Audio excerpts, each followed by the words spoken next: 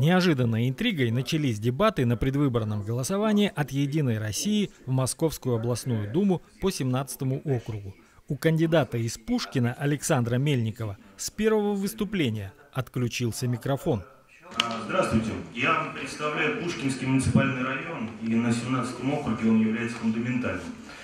А, мне не понаслышке известны все, скажем так, экономические проблемы, которые существуют вообще в целом в Подмосковье в Пушкинском районе.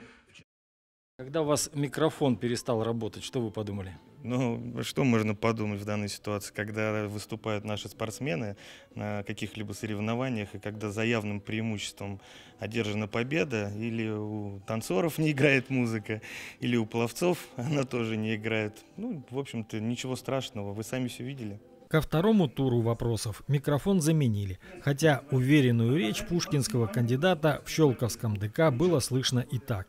Вообще, дебаты получились довольно интересные. Один из кандидатов рассказывал стихи. Это было, пожалуй, самое оригинальное. А ответы, ну, ответы все интересные, потому что достаточно острые вопросы, поднимаются острые темы. Один кандидат, например, вот, э, так скажем, заведомо провальный, ну, наверное, не только с моей точки зрения, но и вообще всех остальных, и участников, и зрителей, э, но тем не менее он вот все равно продолжает приходить и э, не боится, тем не менее, выступать перед публикой. Ну, а есть, э, наоборот, кандидаты, которые очень понравились. Александр Мельников явно понравился залу большую часть которого занимала его группа поддержки. Они поочередно задавали вопросы соперникам. И снова, как нарочно, Мельникову достался самый каверзный. Здравствуйте, Александр Сергеевич. А, скажите, пожалуйста, каково ваше мнение на повышение акцизов на топливо? Спасибо. Вам большое. Действительно, это вопрос, который сейчас волнует очень многих, и многие политики сознательно его обходят и стараются либо замолчать, либо не отвечать. У меня есть четкая позиция по поводу данного вопроса, которая разбита на два пункта. Первый.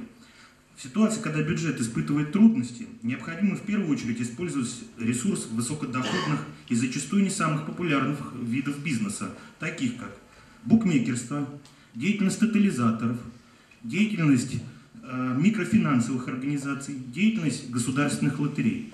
Все это очень высокодоходный бизнес. И почему он не работает, и почему государство сейчас не получает с этого налоги, большой-большой вопрос. И тогда возникает второй вопрос. И если не, если же подобная мера, как повышение акцизов, все-таки же принята, то контроль за использованием этих средств должен быть кратно увеличен, чтобы каждая копейка, каждый рубль был направлен только на строительство дорог в регионах. Спасибо. Мельников является действующим председателем комиссии по законности, защите и правопорядку. И это его обычная манера постановки вопросов. Я лично общался с Александром Сергеевичем Мельниковым, вот, и много с ним пересекались и по партийной работе, и по работе агрохолдинга. Вот, разговаривали с ним, общались. Очень достойный кандидат. Вот, посмотрим, как он себя поведет сегодня на дебатах по, как бы за него поболеем, попереживаем. Переживаний было достаточно. По крайней мере, на этом этапе шла реальная борьба. Партийный азарт в какой-то момент появился поболеть за своего кандидата? А, конечно, появился. Но я просто верю в него, я знаю его давно, а, с институтских времен. Он а, целеустремленный. Все-таки я считаю, что он достойный депутат. Вот, поэтому пришла сюда даже с ребенком. Многие считают, что уже давным-давно состоялись выборы, уже всех там, значит, галочкой назначили и так далее. Ваше впечатление – это реальное действие? Здесь есть борьба? А, я вам больше могу сказать. Следите в этом году за выборами пристально. Сюрпризов будет очень много. А Единая Россия вперед, Россия вперед, вперед Подмосковье. Голосуем за Мельникова.